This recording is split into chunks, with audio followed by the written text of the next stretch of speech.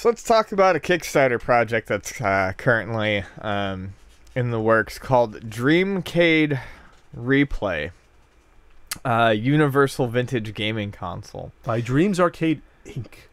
So what this is is it's a basically a mini computer that is uh, focused on running um, uh, games from the vintage systems like the Atari and the Coleco, uh, all the way up to I believe PlayStation One is about as high as they're going to get, and uh, it comes with a series of uh, it comes with a bundle of licensed games, and then it comes with means to access and obtain other games, most of them for free, sometimes at a cost.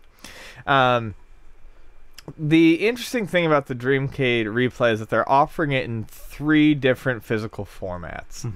Um, the first and the smallest one is um, the Dreamcade Replay Classic, which is a small-looking Atari type system with a controller that they would like to put out at the Kickstarter price of two two eighty nine. 289 with the shitty looking controller. 289. Uh, the Dreamcade Replay Mobile, which is uh, a uh, like a 15 pound um, uh, like mini arcade machine with an 8 inch screen. 8 inch IPS screen. It looks like a little, yeah, mini arcade has uh, player one and two buttons and has nine buttons on the front and, and, a, and a candy, what are those called? The Happ controllers with the candy button. Uh, It's, joystick. it's arcade buttons. Arcade. Oh, I mean the joystick.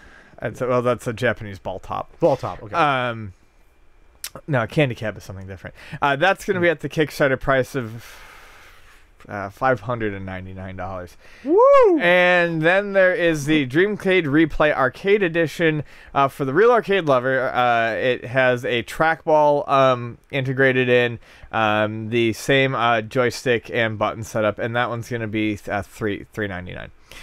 Um, I have, I don't know, I have some doubts about the product.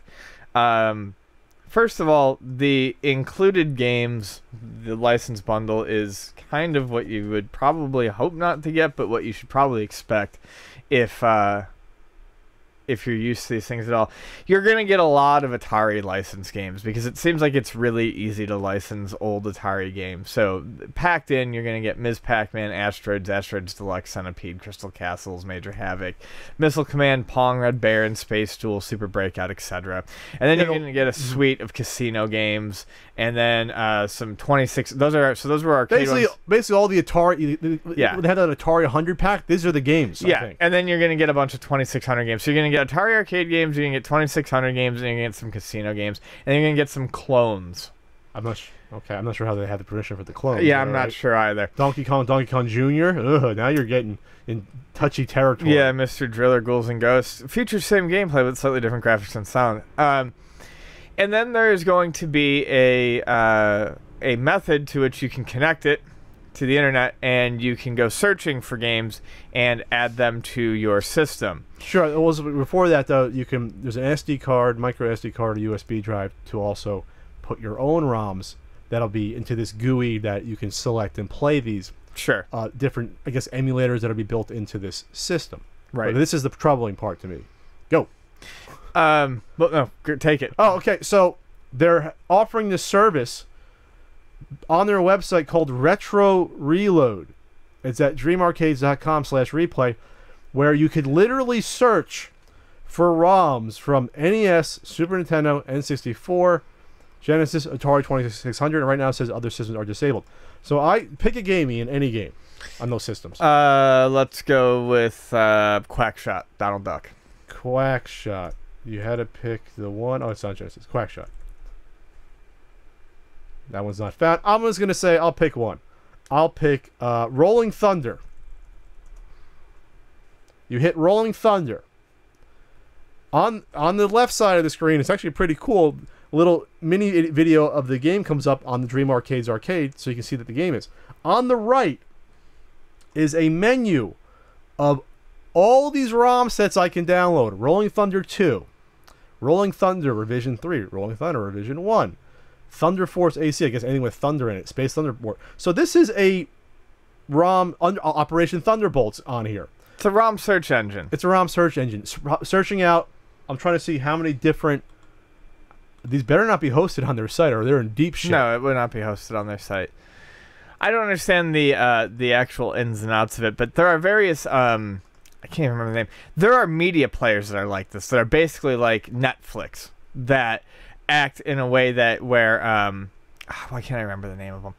Anyways, where you can uh, one's called uh, Genesis actually, where you open up a, a professional looking user interface and you type in the name of a TV show or a movie, and it basically aggregates from streaming sites, torrents, and things like that, places where you can access this file or this show, and then it will stream it to you, or in this case, most likely download it to your um, system. So this is what this probably is. Yes.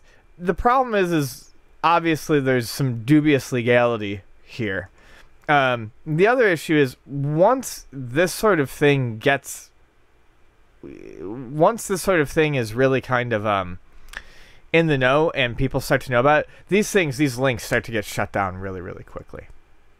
So Jesus m- Christ. my question is the usability of this service and the longevity of this this service is in my opinion highly questionable having been a person who has messed around with similar services in the past to see what they do and realizing that eventually you get to the point where they're basically non-usable Wow. Yeah, it says games. Uh, it says on the Dream Arcade's replay site, games provided via public repositories that can be a myriad of ROM sites, yes including the nonprofit Internet Archive, archive.org. I know there's a bunch of ROMs on there.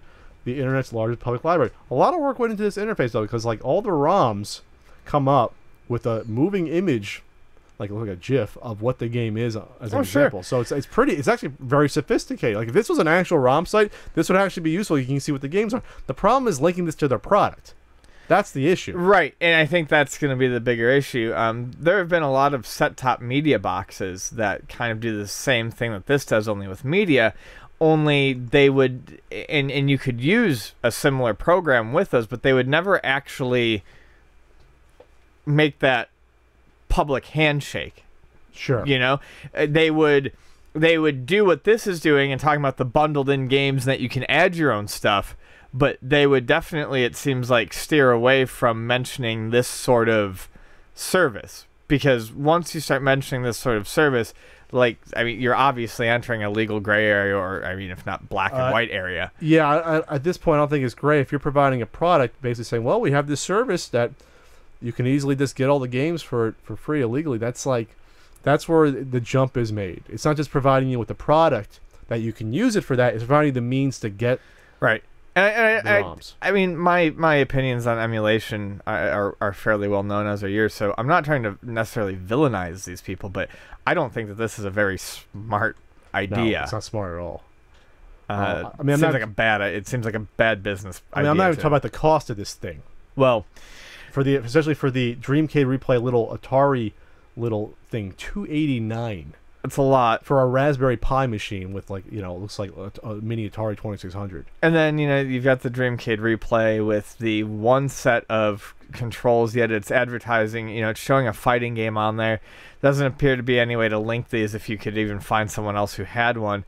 Um, a lot of these games that require that are better with these arcade sticks are fighting games. Excuse me. Where's the fun without a second player? Um, they are there are similar arcade machines out there that do similar things in a similarly legally dubious manner of you, but it's you it's not with the internet. You just you know you put the ROMs on a card or whatever. But they have the two joysticks, the two buttons set up. They're roughly the same size. They have a nice screen, and uh, you know they're only fractionally more expensive than this and offer basically the same thing with a set of second player controls. I I, I feel like there's certainly a market here, but I feel like the price and the marketing of it is a little questionable. It's a very slick presentation. And did you see the video? Oh yeah, yeah. Uh-huh. I hate to bring it into this. The first thing that comes to mind in the slick video presentation shows a family sitting down and playing this in front of a TV and and laughing and having a good time, including a little boy and girl. And guess who's who? Guess who wanted to do that with their Yeah. marketing campaign? Yeah, it's true.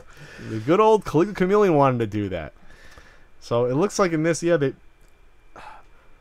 I mean, the, the quality of the products I can't even question. They could be good, they could be bad, but yeah, it's just uh, the team linking it to an emulator download uh, search engine. That's where I think that's where it could be troublesome. So. Yes.